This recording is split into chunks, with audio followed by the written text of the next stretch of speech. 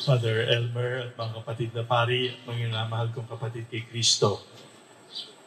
Hindi pa ho fiesta. Patapos pa lang tayo ng nobena.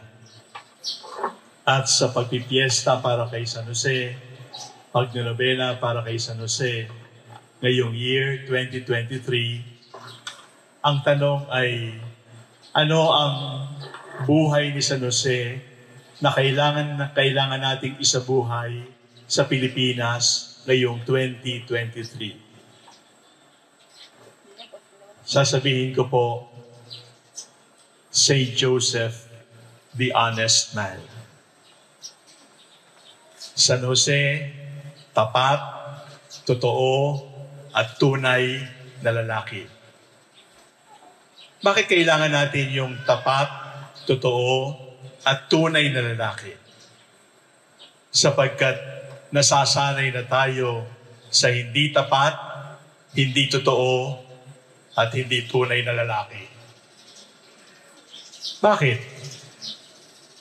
Dati tawag natin chismis. Ngayon, binigyan ng magandang pangalan, Marites. Dati nahihiya tayong magsinungaling. Ngayon, hanap buhay na ang pagsisinungaling. Saint Joseph the Honest. Saint Joseph, totoo, tunay, tapat. Alam po ninyo, wala naman talagang pwedeng sabihin lihim na kasalanan. Kasi anumang kasalanan, anumang kamalian na gawin natin, tiyak mayroong dalawang nakakaalam. Una ay ang Diyos, walang lihim sa Kanya. Pangalawa ay ikaw. Kahit wala nang nakakaalam, dahil alam mo, ikakahiya mo yung sarili mo. Dahil alam mo, matatakot kang mabisto. Dahil alam mo, iisip ka at iisip ng pamamaraan sapagkat hindi lahat ng nagkasala at nagkamali ay nagsisisi. Malakas ang loob nating gumawa ng kasalanan, pero pag panahon na ng tanggapan, ng aminan, na ginawa ko talaga yung kasalanan, ay para tayong asong bahagang buntot. You are so brave with committing wrong, and yet you are a coward when admitting wrong. Wala sa buhay ng deboto ni San Jose. Sapagkat totoo, tunay, at tapat. Paano natin nakikita na tayo ay papunta na doon sa buhay na walang katapatan, na hindi tiyak, hindi totoo yung ating pamumuhay? Kapag meron ho kayong gagawin na sa pakiramdam ninyo ay masama, Subalit, hindi mo kayang aminin sa public. Hindi mo kayang aminin sa asawa mo, o sa anak mo, o sa magulang mo. At kapag pinag-usapan itong ginagawa mong ito, kakailanganin mo magsinungaling. Sinungaling ka talaga. Ang unang-unang gagawin natin, kapag tayo may maling ginawa at malakas ang loob na gumawa ng masama, ay palusot rationalization, excuse.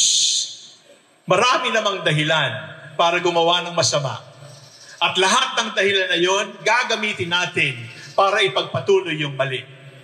Lahat ng dahilan na yon, gagamitin natin para sabihin, marami namang gumagawa nun eh. Minsan ko lang namang ginawa yun eh.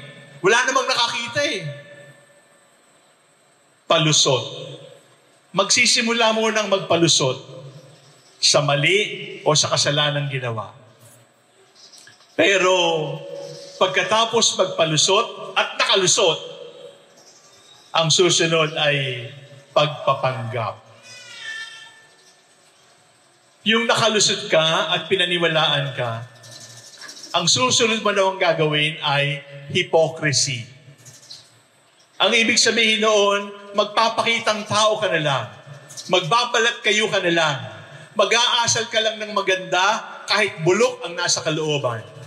Magsasabi ka na lang ng maganda kahit gusto mo nang magmura. Pagpapanggap.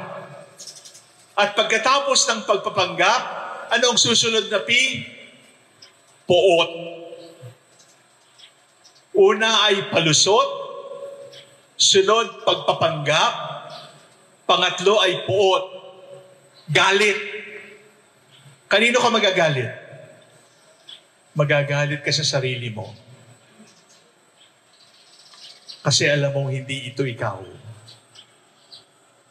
At dahil nagagalit ka na sa sarili mo, sumisingaw na rin sa ibang tao yung kasinungalingan mo. Kaya kahit hindi nila mapatunayan, at kahit sa korte ay malaya ka, at sasabihin ng judge, innocent ka, at sasabihin ng abogado, walang sentensya sapagkat walang proof beyond reasonable doubt, nagagalit ka na sa sarili mo sapagkat alam mo, ang pinagtataksilan mo ay hindi pamilya o bayan, opisina o kaibigan. Ang pinagtataksilan mo ay ikaw. Tapat sa asawa. Tapat sa anak ng Diyos. Tapat sa kanyang hanap buhay. At higit sa lahat, tapat sa kanyang sarili. Marami po tayong taguri kay San Jose. Sabay first, manggagawa na San Jose. March 19, kabiyak ng puso ng mahal na Birhen. Subalit, marami namang lalaking may asawa, marami ring karpintero, marami ring manggagawa. Subalit sa ating panahon, pang minamahal kong kapatid, huwag na nating pag-usapan yung mahilig sa marites at chismis. Huwag na nating pag-usapan yung troll sa naghahanap buhay. Ikaw na lang pag-usapan natin. Sapagkat ang simula ng trolls ay sa sinungaling na kalooban. Sapagkat ang simula ng chismis ay sa taksil na kalooban. At maganda ang bihis natin ngayon dahil huling araw ng ating nobena. Kasing ganda ba ng bihis natin ang ating kalooban? Maganda ang bihis natin ngayon. Pero kasing tapat, kasing tunay, Kasing totoo ba ng ating bihis? Ang ating puso, ang ating kaluluwa, ang ating kalooban. Si San Jose ay hindi immaculately conceived. Hindi siya ipinaglihing walang sala katulad ng mahal na birhen. O walang itinuturo ang simbahan na siya ipinaglihing walang sala tingin ko nagkasala rin siya. Pero tingin ko rin, tapat siya kahit siya'y nagkasala. Ang mahirap ay magkamali, magkasala, may lihim na kasalanan, subalit sa halip na magtapat, nagpalusot, nagpanggap, at sa kahulihan, napuot na sa sarili sapagkat parang wala nang pupuntahan. Fiesta bukas ng ating parokya, bagamat linggo.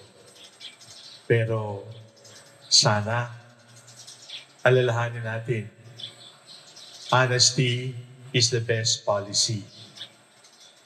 At alam natin yon, liars go to hell. Ibig sabihin noon, there are no dishonest people in heaven. So kung dishonest, lying, Catholic ka na ngayon, umaasa ka ba pupunta sa langit kung hindi ka magbabago?